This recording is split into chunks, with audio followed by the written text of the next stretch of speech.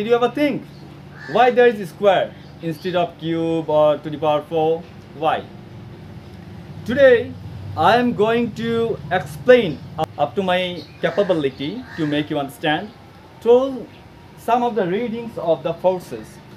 I'm not going to find out any value, but here with the help of some of the readings, I am going to explain how it happens and how the force depends on the masses of the two bodies and how and what type of force, what is the nature of the force between the two bodies and as well as what happens when there is an increase in distances between the two bodies. Here, based on that only I am going to show you. That's one. As what is uh, Newton's universal law of gravitation? Hello dear friends, once again welcome back to my channel Scientific Phenomenal Facts. आज का मेरा topic है Newton's का universal law of gravitation को लेके। कि Newton का जो यूनिवर्सल लॉ ऑफ़ ग्रेविटेशन है वो क्या है? और उसका अंदर का जो फेनोमेनन है उसको मैं एक्सपेरिमेंटली कुछ हद तक दिखाने का कोशिश कर करूँगा। I am going to show how the Newton's universal law of gravitation it works. Here let you see.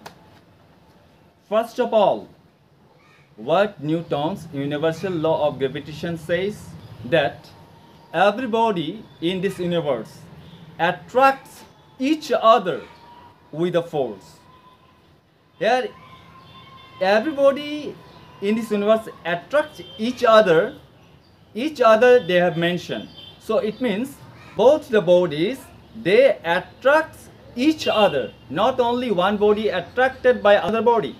Here, both the body exerts force towards each other. So, let us see. Here, suppose two bodies. This is A. This body is B. These are the centers of both the bodies. Here,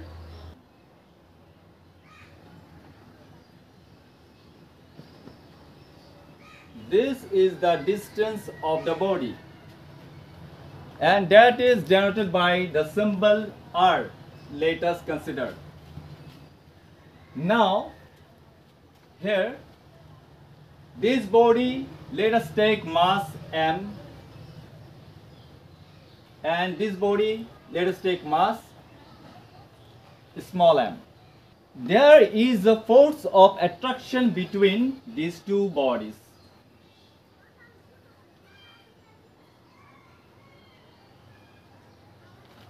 And both the bodies attracts each other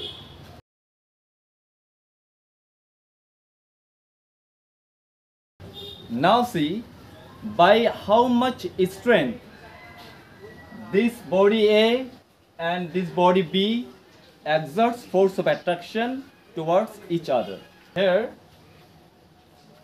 both the bodies attracts each other by what? Let you see. This body attracts this body B with the force F and the body M also attracts the body A with the same magnitude as both attracts each other. And where there is the force of attraction between two bodies then their magnitude becomes same. Suppose if the mass of this body is twice then the magnitude of both the bodies will be the force will be twice that. And if the mass of the this body it is thrice then this force the magnitude of the force of attraction between the two bodies also becomes thrice f this is the magnitude of the force of attraction between the two bodies when two bodies attract each other by their force. Now, if we increase the size of this body,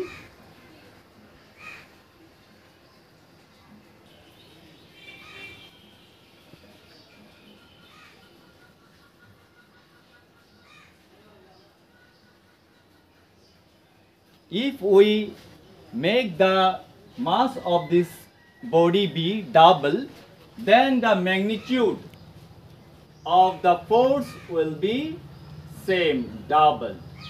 Both gets attracted by the same magnitude because it is in case of the force of attraction between them. Now let, let's see how the force of attraction it depends on the mass of the bodies. Come let's see. Here I have taken some of the magnets. Here already I have measured the mass of the magnets with the help of beam balance. Here why I have selected the example of magnet don't you know? Here as per the universal law of gravitation that uh, everybody in this universe attracts each other. If there is attraction, then we can take the example of magnet. Magnet has the property to attract and to repel. But uh, if we consider the pole of attraction for the other body, if we place the unlike poles then it will attract each other. So that technique we are going to apply. Here, let us see, let, I have already measured the mass of each of the magnets. Here, this magnet, it is having mass of 224 gram. And this magnet, it has the mass of 222 almost same. And this small magnet it has the mass of 93 gram. And this magnet it has the mass of 12 gram. Now let us see how the force depends on the mass. Come let's see. Here let us place this magnet at 7 centimeter. Now let you see at which distance at how much distance this body experience force to each other. These are the readings. Here with the help of these readings we can able to understand the force depends on the mass of the bodies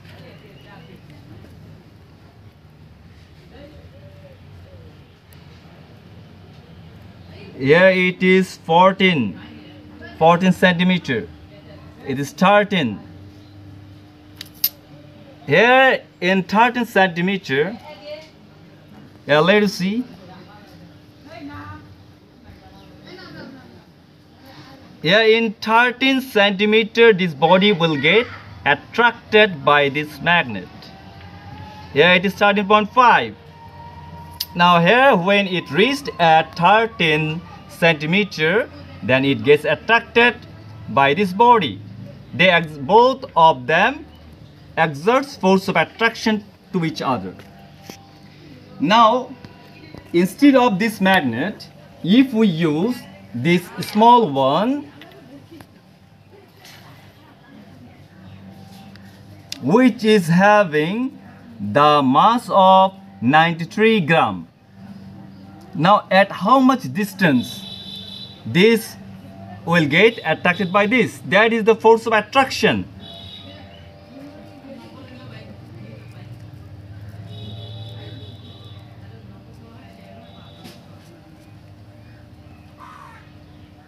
Would at the same 7 centimeter this body is placed. Now this body here in the first example both of them experience force of attraction when they reached at 13 centimeter. Now here for this body, here mass as mass decreased. Now see. Here already we have crossed 13 centimeter. Here it is 12.5. Here it is 12.25. When it reached at 12, both of them got force of attraction at 12. So from that activity, what we came to know? We came to know that gravitational force is directly proportional to the mass of the first body and that very gravitational force of attraction it also directly proportional to the mass of the second body now here when the mass of the body increases then the force of attraction between them also increases. But now, what type of force it is? Did you thought what type of force that one? It is not like that. One body it is at rest, Ah, other body is coming towards that body. It's not like that. Here both the body ex exerts force of attraction towards each other. That is accelerated force. That is accelerated force. So here the force of gravitation it depends on the masses of both the bodies. If the mass of the bodies increases then the force, the magnitude of the force also increases for both the bodies. But it remains the same. The magnitude for the magnitude of the force of attraction for both the bodies remains the same. Here from Newton's universal law of gravitation what did we know? that everybody in this universe attracts each other with a force and that is accelerated force. Now here and that very force is directly proportional to the product of their masses. How it is product? Here for gravitational force is directly proportional to the product of their masses. How there is product? Why you did not use here plus or minus? Because it is an accelerated force. Here both the bodies they exert force of attraction towards each other. That's why the force it accelerates. That very increase in the force of attraction is accelerated pattern. So, due to accelerated force of attraction, we are using product. Here, force multiplies. Here, one concept clear, that force depends on the masses of both the bodies. Now, here, the gravitational force is directly proportional to the product of their masses. Here, product is because of accelerated force of attraction between the two bodies as both the bodies get attracted towards each other. Now second part is that very force of gravitation is inversely proportional to the square of the distance between them. Here the force of attraction it is inversely proportional to the square of the distance between them. Why there is square? Why there is no cube? or to the power 4 or to the power 5 on the distance. For that, also I am going to show you simple demonstration with the help of the attractive objects that is magnet. Here we will use the attractive poles, the unlike poles of the magnet to let us understand clearly. Here let you see if both the bodies attract each other, then they have some strength to attract other bodies, no? This body has some strength or you can say gravitational field to attract another body. This body also has gravitational field or you can say magnetic field to attract another body. From that statement, from that law, we came to know that. Yeah, already it is there in the law that everybody in this universe attract each other. If they attract each other, then they must have the gravitational field or you can say magnetic field.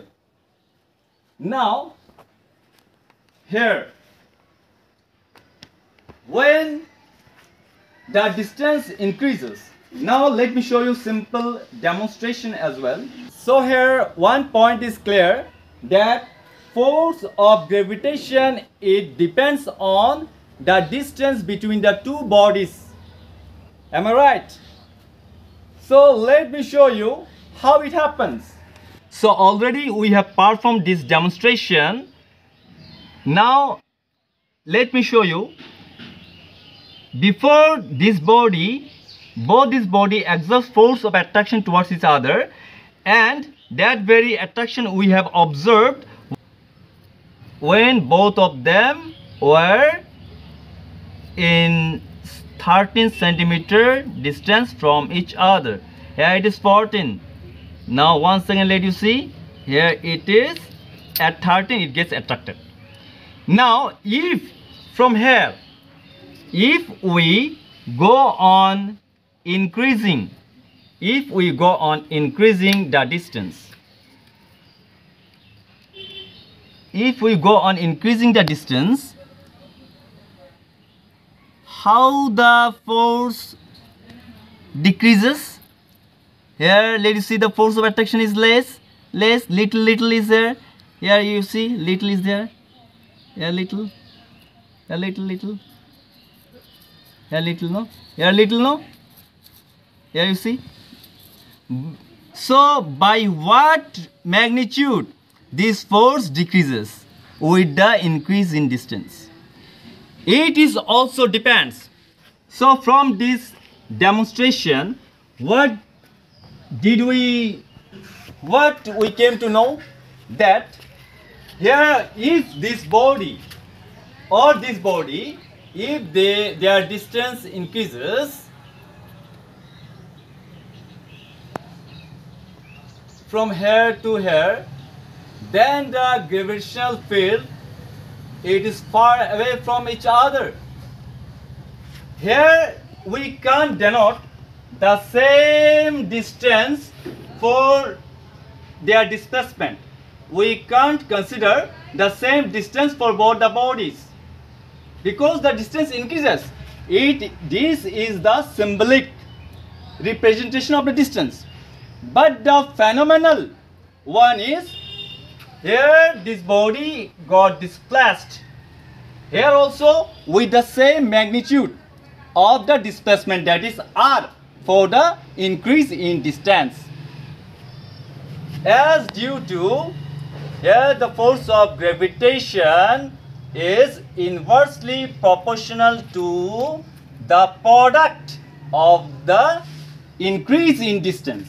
Here this double R means increase in distance. And here this product, it indicates accelerated force of gravitation. With respect to the accelerated force of gravitation in case of the product of the masses. That's why here we are writing F directly proportional to m m by r square. Now let us see if we go on converting this proportional sign into equal sign. Now here product of the masses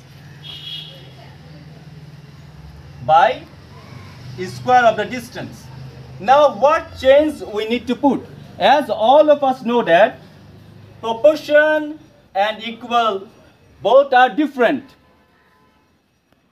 So here let us see we have performed these activities or this demonstration here in this earth here on the earth. Let us consider this earth is the universe and in this universe these two bodies attract each other. And here we are putting here the constant as E. Why E? Because if we consider Earth to be the universe and this and the two magnets are the two bodies which attract each other with a force. So this Earth will be the gravitational constant. It can be denoted by any symbol. We can use here the symbol G.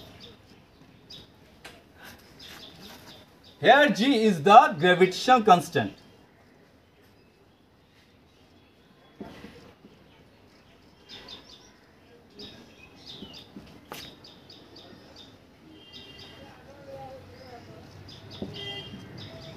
Now here, let us see if we want to prove why there is square on earth.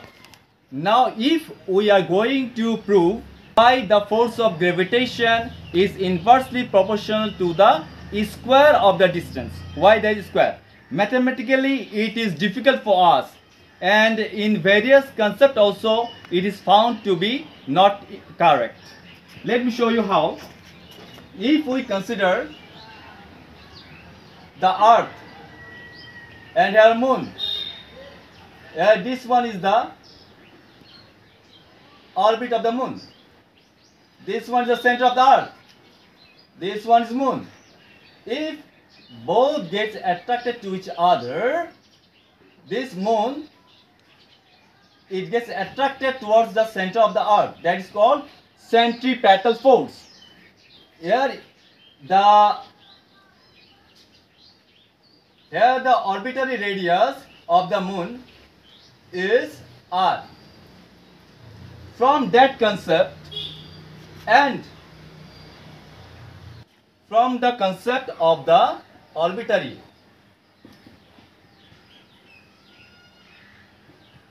concept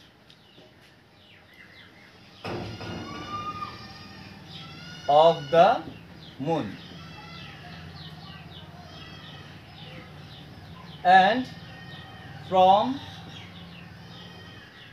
the concept of centripetal.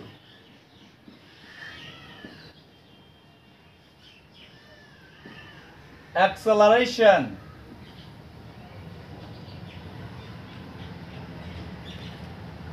of the moon we got acceleration inversely proportional to the square of the distance.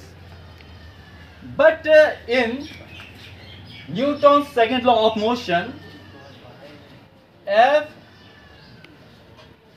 is equal to m a. And from the concept of Newton's second law of motion some are making this way f directly proportional to the acceleration.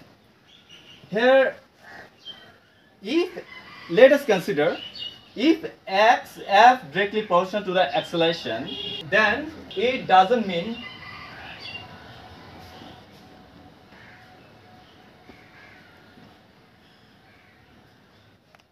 it does not mean f inversely proportional to the square of the distance. It doesn't mean that. Here,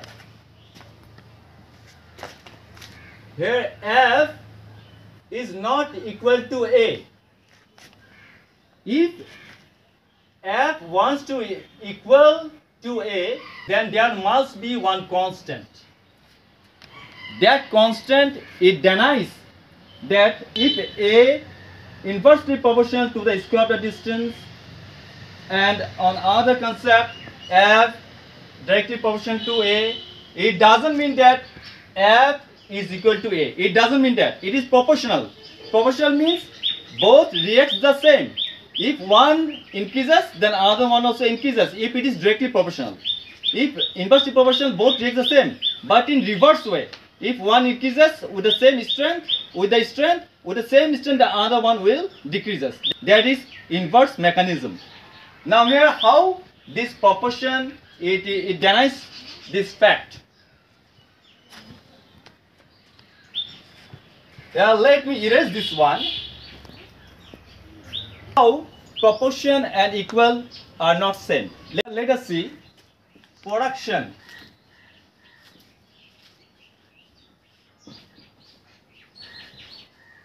Directly proportional to the outcome.